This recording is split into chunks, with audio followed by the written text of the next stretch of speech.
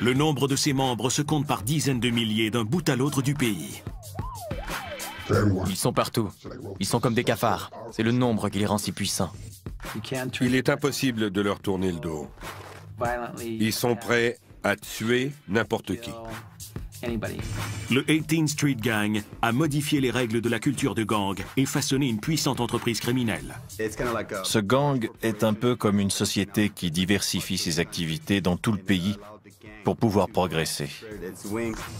Ils occupaient un territoire, ils s'emparaient de différents secteurs de drogue et d'activités criminelles, et les gens qui refusaient de coopérer se faisaient amocher sérieusement.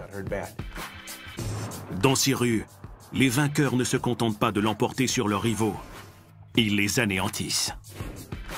Il faut être prêt à tout faire. Voler, dévaliser, escroquer, tuer. Il faut être prêt à tout. Le 18th Street Gang est ouvert à tous, mais personne ne peut le quitter. Il y a une seule façon d'en sortir. C'est de se faire tuer.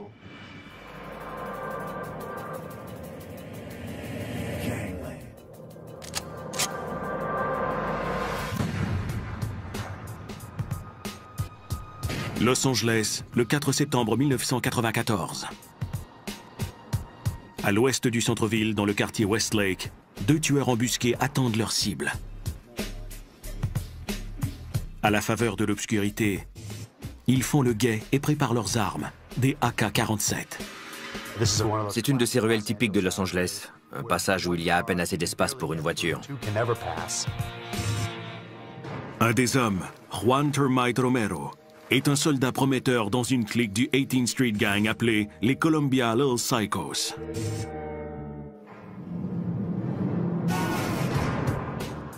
Le gang se spécialise dans l'extorsion. Il soutire de l'argent à tout le monde, aux revendeurs comme aux gens d'affaires, en échange de sa protection.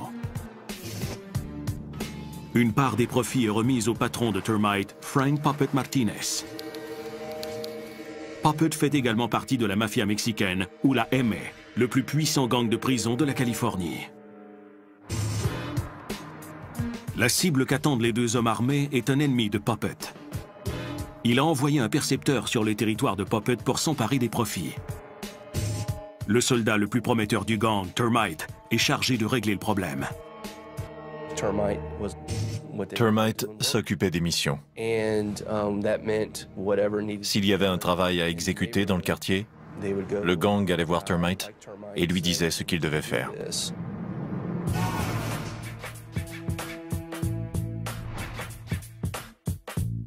L'audace et la violence impitoyable du 18th Street Gang lui ont permis de s'imposer à Los Angeles.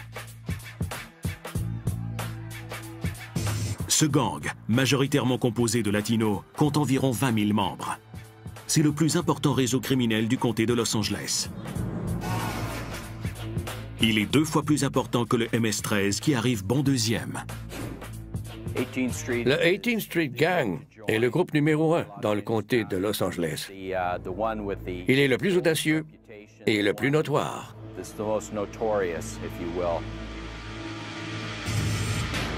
Le 18th Street Gang ne ressemble à aucun autre gang de rue à cause de l'importance de ses effectifs et du fait qu'il n'a aucune direction générale. En fait, le 18th Street Gang est formé d'une coalition peu structurée regroupant plus d'une vingtaine de cliques.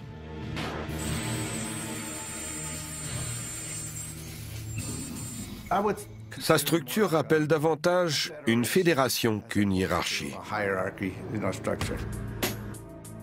Ces cliques portent des noms tels que Hoover Locos, Chateau Park Locos et Columbia Little Psychos.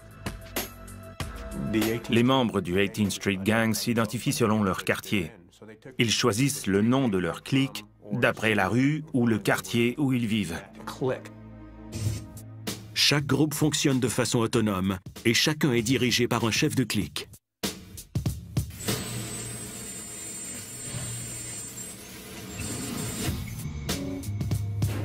Ces chefs de clique sont les moteurs du 18th Street Gang, même s'ils ne communiquent pas entre eux. C'est un peu comme un chef de peloton dans l'armée. Même si tout le monde est dans l'armée, il y a 50 millions de groupes différents et ils ne savent pas toujours ce que font les autres. Ils ont chacun leur plan d'action. Ce chef de clique, que nous appellerons Jesse, dirigeait une bande dans un quartier situé au sud de Los Angeles. Il a fait tout ce qu'il fallait pour gravir les échelons. Ça m'a pris un an et demi de crimes de toutes sortes. Quand on ne refuse rien, on se fait rapidement un nom. Peux-tu me voler une voiture? Ouais. Est-ce que tu veux vendre la drogue? Ouais. Peux-tu tirer sur quelqu'un? Ouais. Plus je commettais de crimes, plus j'étais respecté des autres membres du gang. Souvent, le travail de chef de clique consiste à commettre un meurtre.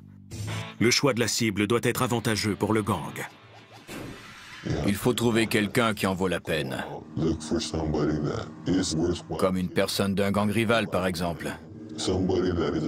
Si on tue un chef de clique, qui est aussi un revendeur de drogue, on fait perdre de l'argent à ce gang. Et la méthode utilisée pour tuer est tout aussi importante. Chacun choisit ses propres armes et sa façon de tuer. Moi, je poignardais. N'importe qui peut utiliser une arme à feu alors qu'il faut pas avoir froid aux yeux pour s'approcher de quelqu'un et le poignarder.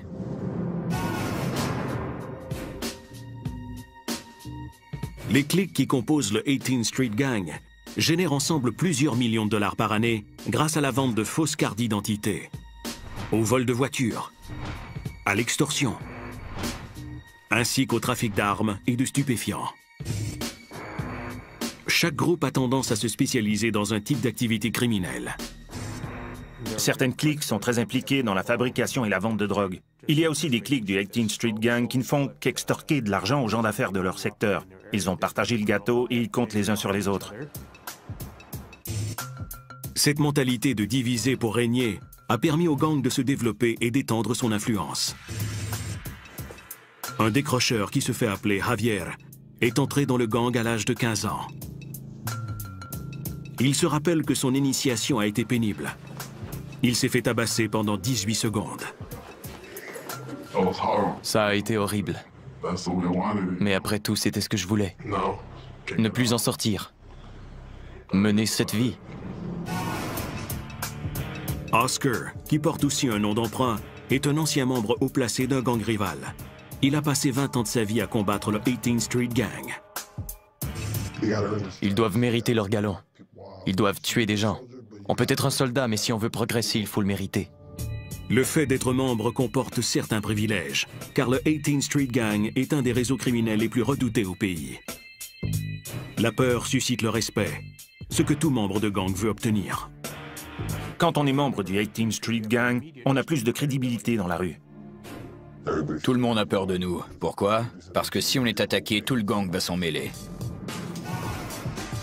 La perspective d'avoir du pouvoir et de l'argent incite certains soldats à gravir les échelons jusqu'au sommet, et ce à n'importe quel prix.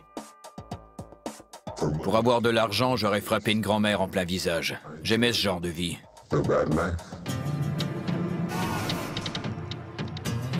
Dans ce libre marché basé sur le vice, la cupidité et le meurtre, le 18th Street Gang se propage comme une traînée de poudre. Il s'étend à d'autres villes américaines et attire d'innombrables recrues. Ils veulent seulement avoir le plus gros gang. Plus ils sont de soldats, plus ils peuvent tout contrôler. Le nombre est tout ce qui compte. Le territoire et le nombre de membres sont aussi ce qui préoccupe Juan Termite Romero lorsqu'il attend sa cible à Westlake. Vers minuit, une voiture entre dans la rue étroite. Elle est conduite par l'homme qu'attendait Termite Carlos Truco Lopez. Lorsque Truco s'approche lentement de la sortie, Termite et son compagnon, tous deux armés de AK-47, mettent en joue les occupants de la voiture. Quand ils ont vu Truco s'approcher, ils ont ouvert le feu avec leur AK-47. Le message est clair. Ce quartier nous appartient et on le garde.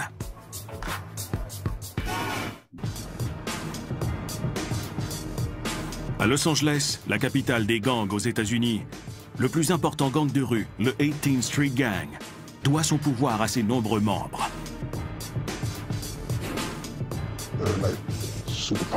Ils sont une sorte de superpuissance. Leurs soldats sont les plus nombreux.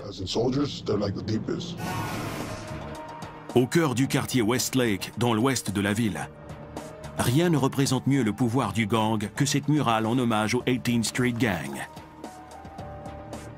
Cette peinture murale est l'identité du gang. Elle a autant d'importance qu'un tatouage. Aucun autre gang n'a jamais osé la couvrir de graffiti. C'est un signe de respect. La murale porte les noms de certains personnages légendaires du 18th Street Gang, dont Termite Romero. Le message est évident. Ce quartier appartient au 18th Street Gang.